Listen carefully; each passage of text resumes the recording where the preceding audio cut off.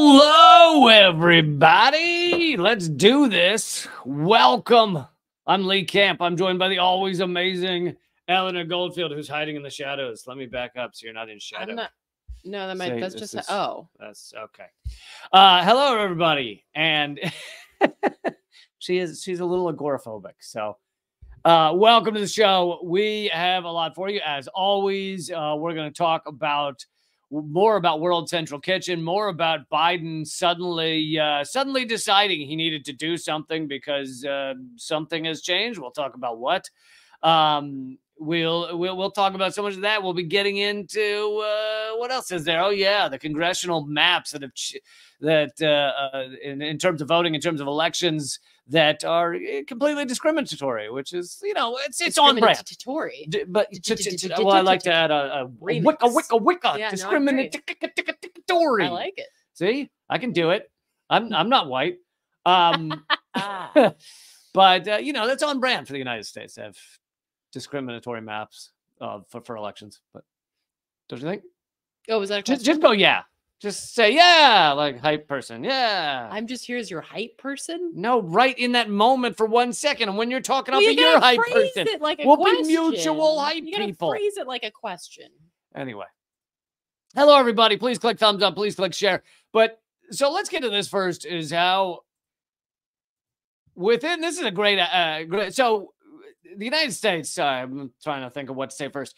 Uh, the United States is now forcing Israel to open one of the gates to allow in aid, which has been blocked, essentially almost entirely blocked for months now as people starve in Gaza in day 180 Because Biden cares. because suddenly okay? suddenly he cares. So this is uh, Kenneth Roth from Human Rights Watch wrote within hours of Biden threatening to suspend U.S. military aid to Israel, Netanyahu agrees to open a major crossing for humanitarian aid into Gaza, where starvation is widespread. Biden always had this leverage, but wouldn't use it. So this is like he, they're opening this this and this is something you and I have said and so many others have said from you know day one is that Biden had this ability as much as we see the spokespeople get US spokespeople get up there and go we are we're just it's upsetting and we're gonna this is not right Reagan did this too. But like every president has had this ability. Well, not like, you know, Adams because Israel didn't exist, but like every president since Israel has existed has had the ability to pick up a phone and go stop it and has not. and has not. And so yes this is a tiny little band-aid opening one gate for aid to to allow some aid in uh but it just goes to show that if Biden and the US government, the US empire say we will with, withhold military aid, we will withhold the missiles, the F-35s apparently That we send that- every 36 every 36 hours. If if they say they'll stop that, they get whatever they want. And so right now, Netanyahu's opening this gate because Biden said that. Now, why did he say that now and not over this past six months? 180, what is it, two days now? Well, it's because of this World Central Kitchen attack, which was on white people. It was on white people, it was on aid workers, uh, it was on American citizen, Canadian, to two or three British citizens. And Oh, it was a military veteran too, lest we forget. military. Also, the two Brits were apparently uh, former military or possibly military intelligence in Britain, and uh, some people looking at looking more into the conspiratorial angles are saying, "Why is uh, former military and with an aid kitchen in Gaza?" Um, but uh, you know, and I'll go off what Ali Abunimah said at Electronic Intifada that that's not really the story because apparently it is. They were with the security for this kitchen, for this uh, aid organization. And that is not that unusual to have former military as your uh, security in a war zone. Uh, so, but there are more details about this World Central Kitchen that keep coming out. And I just want to take a moment to go over some of these because they are pretty pretty shocking. And so uh, you know i don't know about everybody else but i was wondering i think a lot of people were why is this world central kitchen which is created by celebrity chef what's his name? Jose andres or something? I don't know him. Anyway uh why is it allowed in to gaza? Why is it allowed while UNRWA is getting bombed and shut out and defunded and all these things. And UNRWA is far bigger, about a thousand times bigger than this World Central Kitchen. Uh, and yet, World Central Kitchen was not only allowed to get in and start feeding people, they were apparently, oh, that's all right, they were apparently delivering uh, a thousand, hundred thousand meals a day, which is not nearly enough. That's a drop in the bucket for 2.3 million people. But they were even allowed to bring in a boat of aid, which who else has been allowed to do that? And so apparently the answer seems to be that Israel, the reason Israel's been working with them, the, they're close with the US government, is because Israel wants to destroy UNRWA, which is, again, a billion dollar organization. I had the former spokesperson on yesterday. He said it's like a government in the Middle East, it is that large 700 schools. Uh, anyway, Israel wants to destroy them. And so World Central Kitchen served as kind of theatrics of like, look, we're replacing UNRWA. Now, that doesn't mean the World Central Kitchen people are not trying to do good. I mm-hmm. think that it was made up of people trying to feed starving people. So I am not impugning them. I'm just saying I think that Israel's connection to them was very cynical. Hmm. And then the question you asked just before we got started is I'm sure what everyone's wondering, which is why would they bomb World Central Kitchen? If they're allied with World Central Kitchen. Uh, there are several possibilities here. One is that is that there's a breakdown of the command structure with the IDF, where the top of the IDF says do something, and I've brought this story several times about the breakdown in that command structure. The top of the IDF says, you know, don't shoot at this or don't do that, but you got lower level people that have basically been told to kill anything that moves in Gaza. So they push the yes button on a drone attack on these cars and that's kind of the end of the story. They don't like they don't think that there's anyone off limits really in Gaza. Uh, so it could have been breakdown of command structure. It also could just be that uh, the IDF, guess what? It, it, because they're killing just about everybody, they do make mistakes on the 12 people they're not supposed to kill. so it could have been a mistake where they legit thought, you know, that that car is probably Hamas and and they think that i mean there isn't any accountability and they're just murdering everybody so why would they really worry well lest we forget they're murdering their own hostages. Yeah. Like not their hostages but the hostages that are israeli like who came out waving what was it like a, a white towel or something? Yeah white flag like, yeah saying don't shoot us they right. released yeah. they've murdered those people so it really shouldn't come as a shock that they're murdering aid workers when they're murdering their own people that is like that they're using as a front for why they're doing this. Like oh because we want the hostages back but also we're going to snipe them. So like yeah so it really shouldn't come as a shock. Yeah so both those things like all those things can be true. They seem kind of mutually exclusive but all those things can be true. The aid workers in world central kitchen i think genuinely want to feed people. I don't think they're there just on a laugh. You know, like it's a war zone, horrific war zone, and they're there. I think they're trying to do good, but I also think Israel and maybe the United States as well are cynically using World Central Kitchen to basically try and destroy UNRWA, which is about a thousand times bigger than World Central Kitchen. And uh, anyway, this is the final, the moment that Biden decided to use some of that leverage to finally do something. So well, and like something, yeah, know, like something what, small. Yeah. What eh, what is that something really? Yeah, just to open that one gate for who knows how long. Um, okay, so I wanted to bring that story, but I also wanted to bring to you um basically the US has lost to Yemen.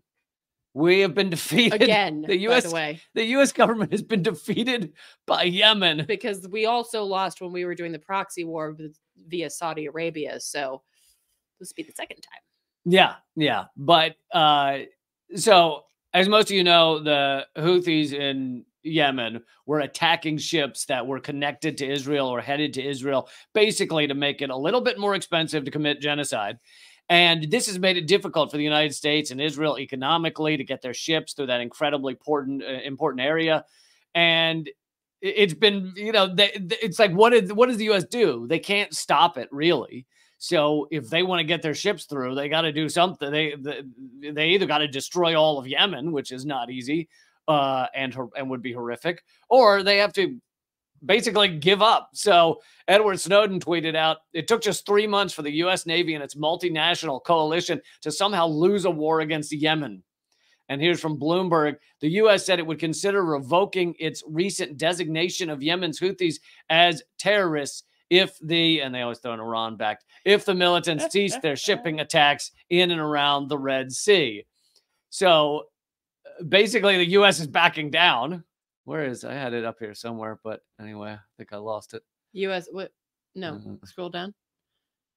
U.S. may revoke. There, there. There it is. U.S. may revoke Houthi terrorist label if they stop Red Sea Red Sea ship attacks. That was the Sean Connery. Connery. that was the Sean Connery the version. Red Sea ship the, the Red Sea ship attacks. Uh, will must be stopped. um, Washington seeking diplomatic off ramps. That's basically like you got your ass kicked. Yeah. Says Yemen envoy. Houthis have been attacking ships in the Red Sea since November.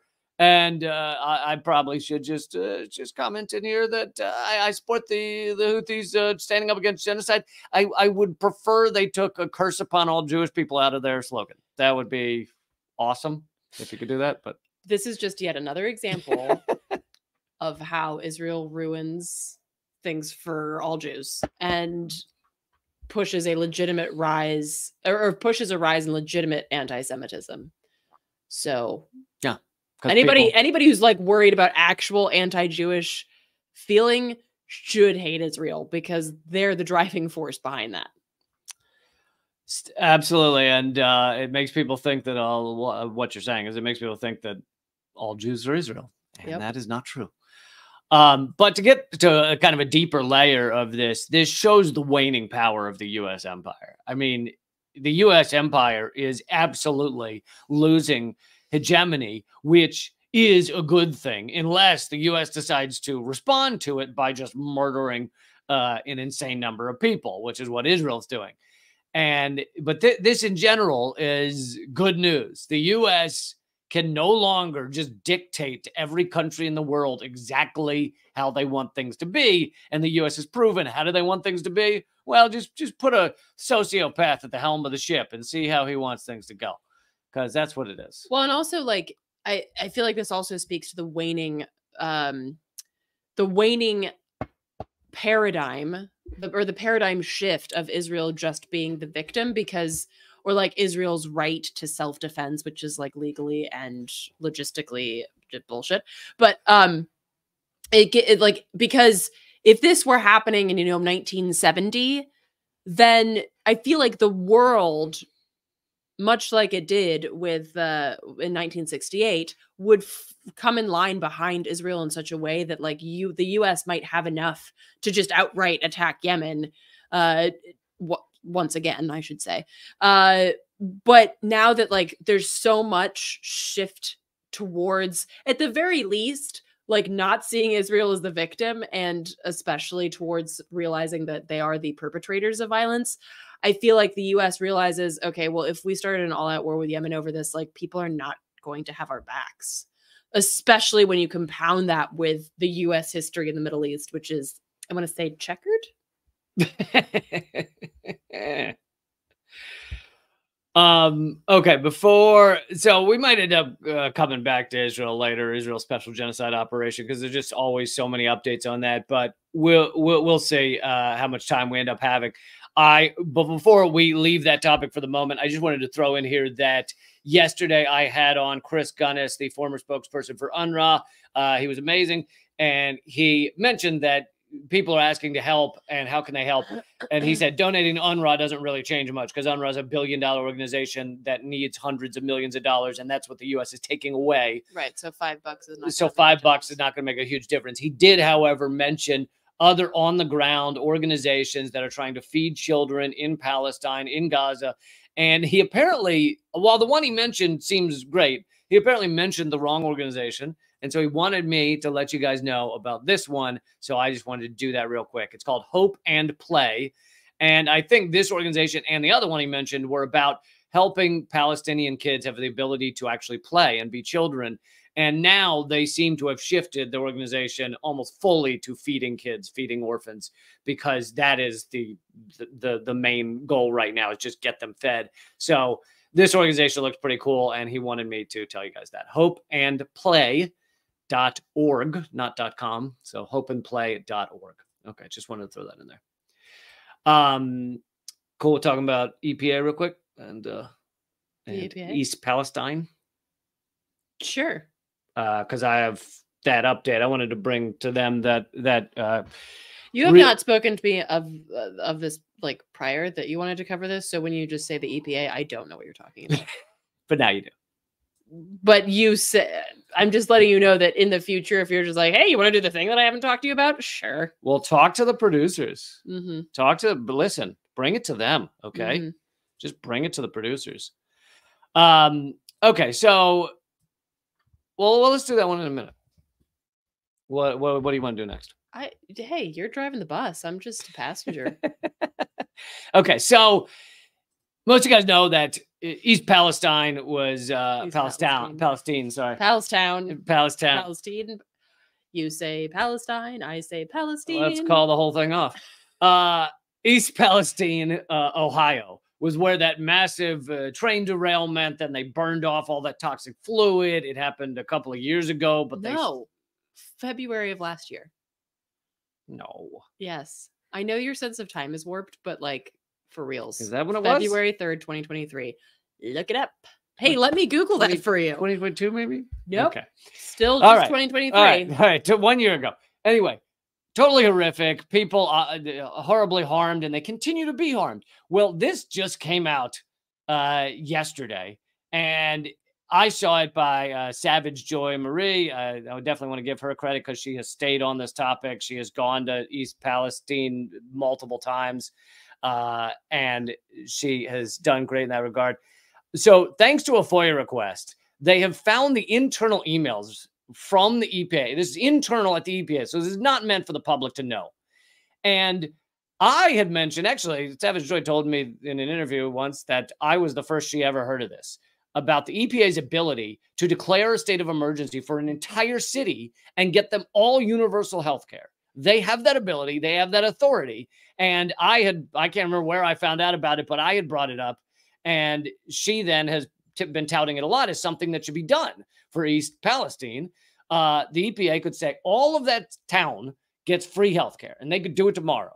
Instead of watching these people suffer and struggle and die, uh, they could do that. And it's only been done once. One city has, inf- has universal health care in America. It's called Libby, Montana, and they get health care forever. Oh, is that because of the? It's like an underground fire. No, I think no, no, the underground fire. Oh, that's crazy. No, uh, this is asbestos mining. I think. there is everybody. If you want a good time, look up uh, this town in Pennsylvania where there's an underground fire that's been burning for the, since the 1960s. like literally, and the whole town's been emptied out. So it's a ghost town now because you can't live on top of a fire, and it's been But burning. The portal to hell is still there. It's been burning underground for Wow. since the 60s. Okay. Uh, so, So I they don't have health care because no one's there. yeah, they made them all leave. Yeah, Okay. I think there are three people left, and one of them's the mayor. That's awesome, dude. I, I their city council meetings must be like off the hook. The article I read about it, uh, the guy, the reporter was walking through the town. He saw a guy, one guy sitting on a stoop. It's the only guy he saw, and he goes, "Hey, we're looking for the mayor." And he goes, "I'm the mayor." Ah, God bless you. Sounds dystopian to me. Really does it? I think it sounds delightful. Okay, so here's my post about this, and here is the actual uh, email uh, internally at the EPA, and someone brought up East Palace. Uh, someone brought up Libby, Montana, and they said, "Agree with you, Je- Jeff. The issue of declaring a public health emergency is a difficult one. We have the authority, but have only used it once in Libby, Montana. Best not to get into this." So this is so if you look at the date, that's February 20th. That is 17 days after the derailment. Best not to get into this. I also uh, like whoever this person is, I want them to get anal cancer because like what does that even mean? Best not to get into this. We've only done it once. Oh, so you mean like there's precedent? to do this the thing. There's precedents. Yep. But then you're like best not to get into it because I'd rather just see a bunch of eight year olds with like rashes, respiratory problems, and nosebleeds. Like that's way better. Yeah. And literally this and there's a follow-up email that I don't have here where someone else says I think we can consider this matter done, you know, pending your approval or whatever. Like basically this is the extent of the conversation. Should we give all of these people who've had their lives destroyed healthcare? Nah. Well, and I I actually spoke to two people from East Palestine yesterday. Uh, and they were telling me that, and this is going to air on Project Censored in a couple weeks, but and they were telling me that the EPA, they've contacted the EPA, they've they've bugged them, they've begged them to come out and take samples, air samples, water samples, um, soil samples, and the EPA won't do it. The EPA is stonewalling them. The EPA won't even like they won't even like test or clean up. So like they said like by where the train derailed uh in the creeks like you could there's still a sheen on the water. Like the EPA won't even do the menial job of like fi- like a cleanup. So the level that like to which the EPA has just totally backed away from this is remarkable and totally horrific. And so I like I'm not surprised to hear about this. Um but Yeah. Yeah. I mean, here are the articles about it, and some of the imagery. I mean, look at that train. it was cars. 38 uh, cars that derailed and all of them were carrying hazardous materials which they then decided to burn because that's a solid idea. Yeah, so apparently the burning is what actually caused a lot of the problem. It was putting all of it into the air. So the entire area was just like infected. And people to this day, reporters uh, like Joy Marie will go there and get nosebleeds in a matter of days. They'll go there for a few days. And Well, and just like the the, the you know the the the folks that I spoke to, um, the man says that he had to he had to stop working because he now has a heart condition, and he has to take a shit ton of meds. And it's like people, and and and then he, and he brought this up, and I'm so glad that he did because I I hate this like line of neoliberal, uh, like this talking point. Well, why don't you just leave? It's like he's like I was making eighty thousand dollars a year, and now I make zero guess how that's affected my family and guess if I have money to move. And where am I going to go? Because I can't work. So it's like moving this is so idea of just like, hey, why don't you just fucking leave? It's like, hey, that sounds great. Are you going to pay for it? It's like yeah, these people aren't staying out of some kind of like, uh, out of, out of like a for fun. Or yeah, or because they're like, no, I refuse to leave my home plate. It's like they're they're stuck. They're literally stuck in a toxic waste dump. And they can't get out. And neither the government nor Norfolk Southern, the rail company, are doing a shit, uh, like uh, like a modicum of anything to deal with it or or take any accountability. So it's like this is uh yeah, this is the US. Yeah, and and the deeper level of this is that it shows that our elected officials, our government in general, does not give a flying shit about average people, about people out there that are struggling, even when these massive corporations have some sort of quote unquote accident, which we could also spend a half hour talking about how they knew this was coming. Uh, they don't they don't even fix that. And the amount of money we're talking to give these people universal health care and everything else they need is nothing to our government. It is nothing compared to the military budget. It is nothing. And our it's literally like less than a weapons shipment to Israel. yeah, like, a one, like one, like one, One. weapon. I know that's what I'm saying. Yeah. One, like if you just took out one every 36 hours, that would that would cover it. Yeah, and it, it shows how much of an inverted totalitarian system we live in, which these corporations can just do whatever they want, kill or harm whoever they want, and the the U.S. government won't even try to make it right. Uh, and then about how you could have known this type of accident was coming. I mean, these bomb trains explode all the time, but uh, this is the the union, the rail the rail workers union uh, called it a, an 18th century accident because these type of trains and the the uh, technology on them they're not even used anymore except in like you know third world countries, if we still use that term. But uh, And these trains are still going through East Palestine. They're still going through all of these towns. And the I mean the, the same problems that created this derailment still exist. So you're not only are you not addressing this disaster, this catastrophe, but you're not addressing what caused it. So it's like it will happen again. So, yeah, there you go, folks. There's the update on what we finally found out about internally at the EPA. They know they have the ability to give all these people health care. They could just, with the flick of a pen, it would happen. Emergency, uh, declared emergency, give them all health care. We have the authority. We've done it in Libby, Montana. Let's not get into this. Let's not worry about it. Does Libby, Montana still have? I think it's forever. Oh. As far as I know. Okay. Which story would you like to go to next? This one? So this story is interesting mostly because I'm going to shit on I'm going to shit on the concept of voting. But I want to cover this because Excuse me, language, the idea of voting. sorry. Um the paradigm Sh- shit on the idea of love Yes. Uh, so this is, and, and I'm not shitting on like ProPublica. They do actually really great work, and you guys should, uh, y'all should check it out. By the way, everyone hit subscribe and hit the bell icon. We're getting close to 70,000 on YouTube. Woo! Uh, okay. In the chat, somebody just wrote the whale way should be nationalized. First of all, I see you. Uh, and secondly, I agree. I you. I agree. Um, For those who don't know, inside joke.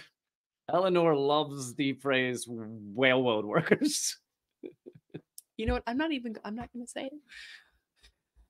It's a stupid. There are too many R's, and then you add a W. It's like fuck. Yeah, that's not fair. Rail workers. Just you just I've get started- rid of the road. Here's the problem. I've started saying rail workers, but sometimes I still trip up on it because like I I have such an overly analytical brain. Is like I start I like I get like anxiety about knowing that I'm going to say it, so I'll still mess it up. All right, we got a we got a super chat. WCK World Central Kitchen driver killed was Palestinian. If all seven were Palestinian, genocide Joe would have snored on it. Yeah, totally, Totally. totally agree. Okay. Um so this this report is basically that uh the districts that how they're drawn, how they're gerrymandered um which as you pointed out once actually has a connection to salamanders, which is which is hilarious and feels very on brand with like how ridiculous our Oh, oh, where the name is. Yeah. gerrymander came from. There was a guy named Jerry who came up with a district map that looked like a salamander because it was so insane. And so he was like the first to do it. And so they called it gerrymandering. so legit like your inability to cast a democratic vote is because of some dude named Jam- jerry and a salamander i like you could not make this shit up our history is so fucked okay um so this is particularly discriminatory in the south. Who could have guessed that? With regards to white and black districts right? Um All right, Sherry. and uh and and so basically what this report is saying is that these ridiculous gerrymandered districts are going to remain in place um because they don't want to rock the boat ahead of the election and they That would be our genocidal war crime boat. yes Okay. and they they they call it the Purcell principle, which is based on a 2006 court case from Arizona that found that voters may be confused by late changes in polling places or election procedures. We want to keep our discrimination so that voters aren't confused by a lack of discrimination. Right. And we're like, wait, why am I not being abused and discriminated against? right. And also, first of all, the infantilization of like, well, because everyone's an idiot, so they're not going to understand.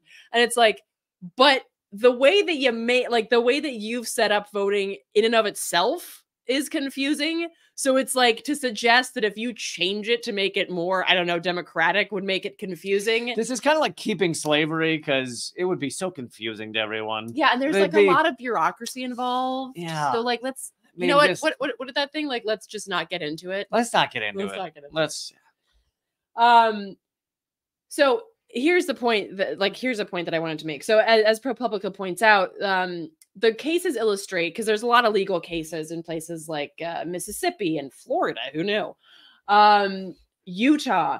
And like so, several states are dealing with this issue, and they say that the cases illustrate how difficult it is to reverse gerrymandered voting maps, even when lower courts find election maps illegal and give state legislatures months to make corrections, appeals, and other delaying tactics can run out the clock as elections near.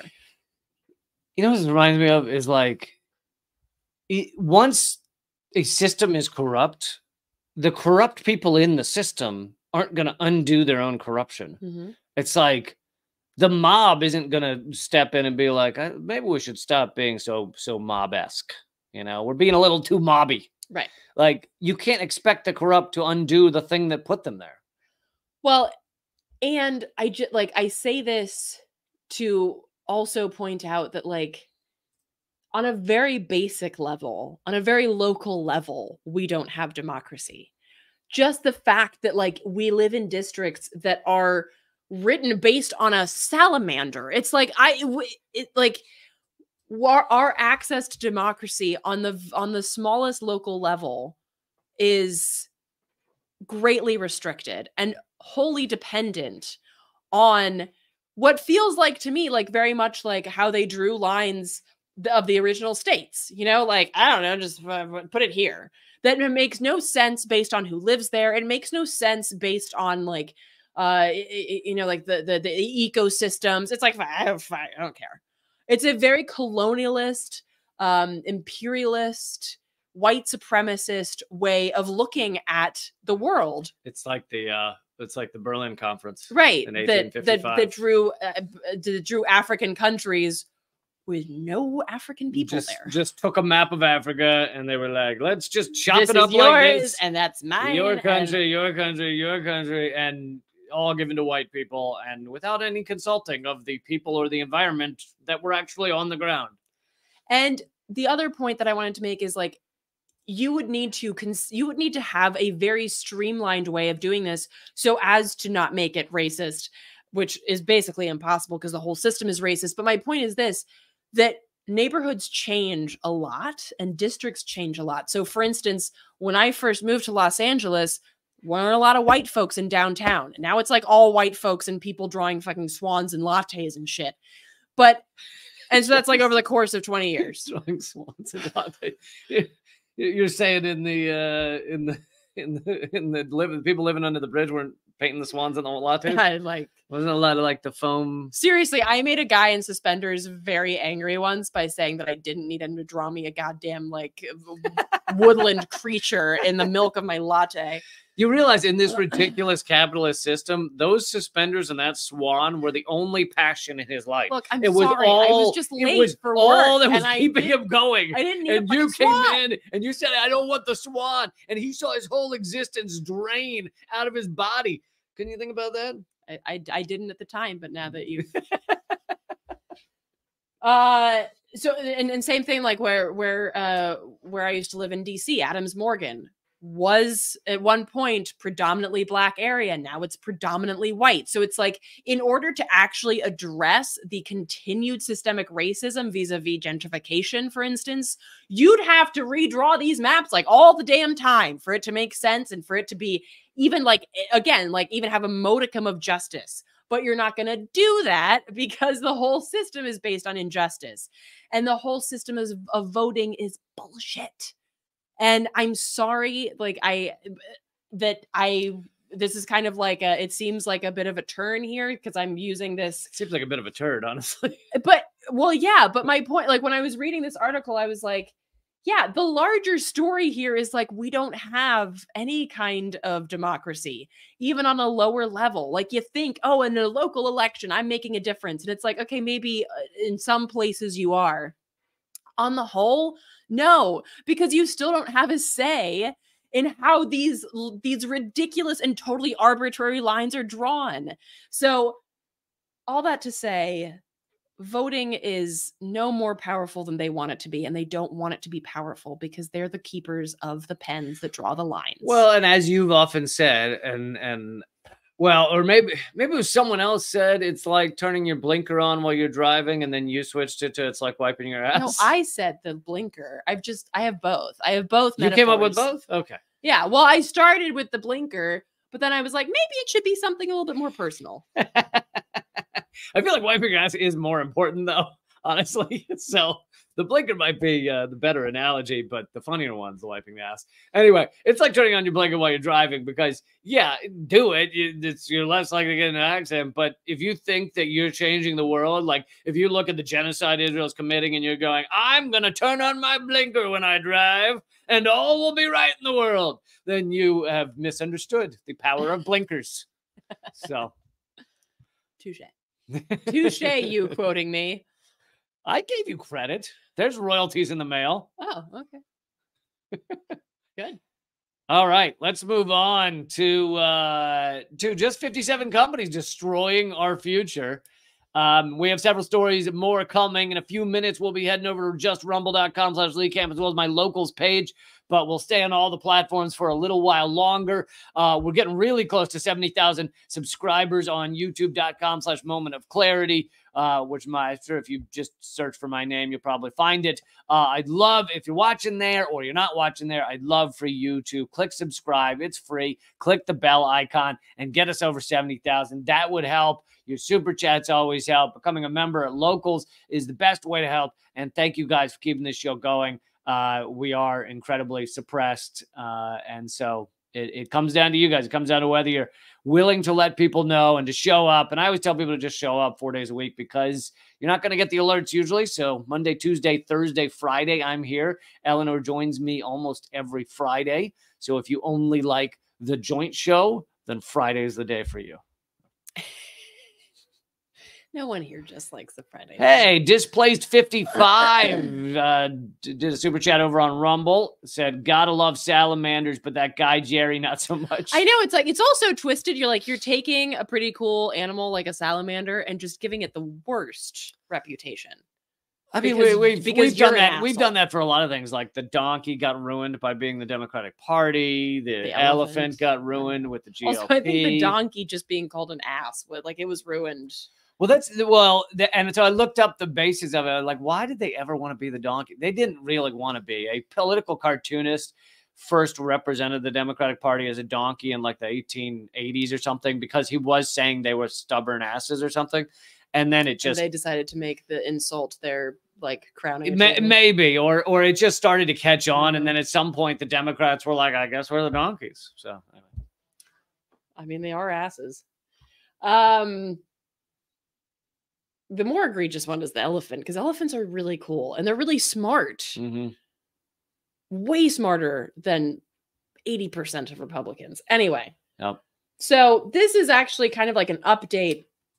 The like several years ago, there was a basically like 100 companies are responsible for 75% of global emissions. And I remember uh, covering that at the time and and being outraged that hundred companies were writing the death warrant for our future, for our kids, our grandkids, all those things, But Lee, our pets. we have whittled that number down. Isn't that isn't that nice? Gravity of capitalism. Can you feel it? Yeah. So now it's just 57 companies linked to 80% of greenhouse gas emissions since 2016. 57. 57. 57 companies. Like, I think we like that that that guillotine would remain sharp. Like you wouldn't even have to use dude, it. no, much. like it would not be blunt. it, it blunted at all. Yeah. like literally uh, there are more matchbox cars in my home than there are companies linked to 80% of greenhouse gas emissions. There's no kid involved. She just likes Matchbox. I just really cars, like Matchbox cars- cars. So, um, so these are. Should I read the first paragraph? here? I'm gonna read the first Okay, paragraph. okay, you do it then. This is my story. Poaching my damn story. Okay, a mere 57 oil, gas, coal, and cement producers are directly linked to 80% of the world's global fossil CO2 emissions since the two- 2016 totally useless uh, Paris Climate Agreement. Uh, so, this powerful cohort of, wait, state controlled corporations and shareholder owned multinationals. and maybe I'll, I'll let you finish first, but that that speaks to a sport an important uh, analysis of economics. But go ahead. No, go ahead. Well, that so some people may go, well, this shows it's not just the capitalist nations, right, or the more capitalist nations. It's not just it's all it's not just the U.S. It's also Russia and China and all these places. And and of course, some people may very well point out that a lot of these places are have are you know Russia's capitalist, uh, China is, uh, has a lot of capitalism in their system. But here's the thing: is it actually doesn't have to do. I mean, aspects of it do, but it doesn't fully have to do with just capitalism. It has to do with market economics. You could have socialism, have a state enterprise where the where the profits go to the people. Uh, like Venezuela, no you know, sold their oil and gave all the profits to the people, and it was beautiful, right? Thank goodness it's not owned by a tiny number of oligarchs. It could be exactly the same, where you still are destroying the planet mm-hmm. by extracting all this stuff. So it's market economics. It's not just capitalism. Well, and Norway gives a good portion of the proceeds from its oil drilling to the people. So, and to some fish.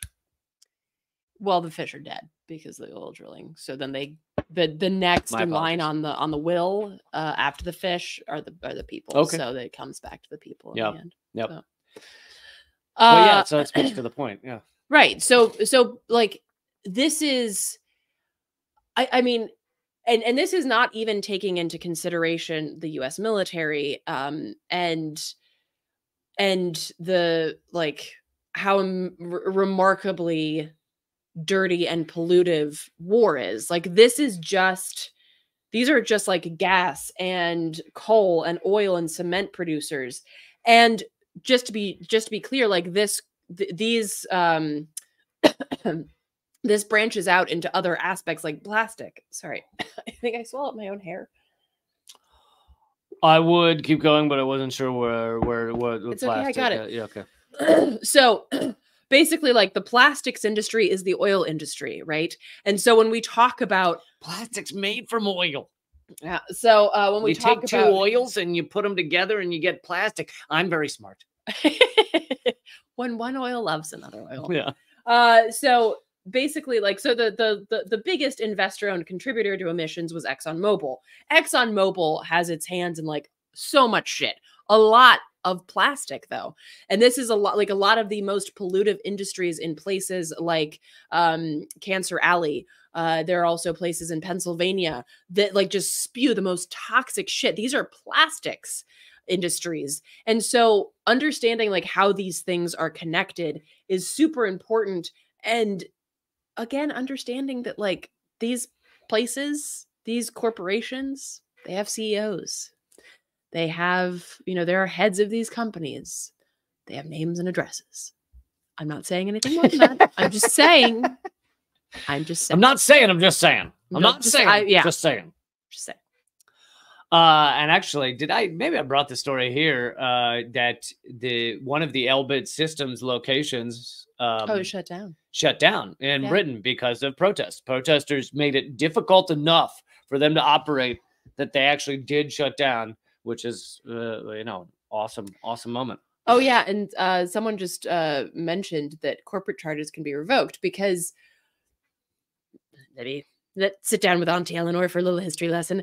Back in the day, corporations only existed. 1986.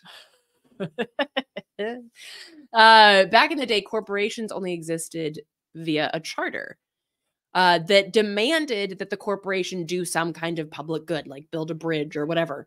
And so those charters were and could be revoked if the corporation didn't do its job, as in like a public good. Obviously, that's no longer the case, but the idea remains the same that you could revoke public charters, you, you could revoke corporate charters. Yeah. On these grounds, there's like there's plenty of precedent. So if we didn't have a system that was owned by corporate America, you actually could have your representatives break up companies, demand they yeah. do things, demand they change, demand they just completely wipe them out. All if you had legit government, all of that could happen. It would happen to companies that had done wrong. Like what's the name of the company that crashed in East Palestine? Norfolk Southern. Norfolk Southern. You could do it to Norfolk Southern, but we don't have that. We have a government that is that only answers to corporate America. Which uh, didn't some say that's the definition of fas- fascism? Mussolini Heard said of him? that He's the- a pasta, right? the classic definition of fascism is a basically like a right wing uh, collaboration between corporate the corporate sector and the government in order to basically control a population and um that's what we have here Uh, okay, so we've got more on this story as well as an amazing clip of the What story? president of Guyana. Oh. Um, uh, don't worry about it. Uh, president of Guyana destroying BBC presenter. All of that and much more is coming up in just a minute, but it's all at rumble.com or my locals page at rumbles.com slash Lee Camp. You can watch for free. So if you don't like to pay the 38 cents and become a member, then go to rumble.com slash Lee Camp and keep watching this live stream. If you're on Rumble, nothing changes. Just give me one minute to switch the streams. You guys rock. Make sure everybody hit subscribe, hit share, hit thumbs up, leave a comment. All those things help. Even if you're not watching this live, you can still support the show by hitting the thanks button on YouTube uh, or or Rumble. Just click thanks and throw a donation.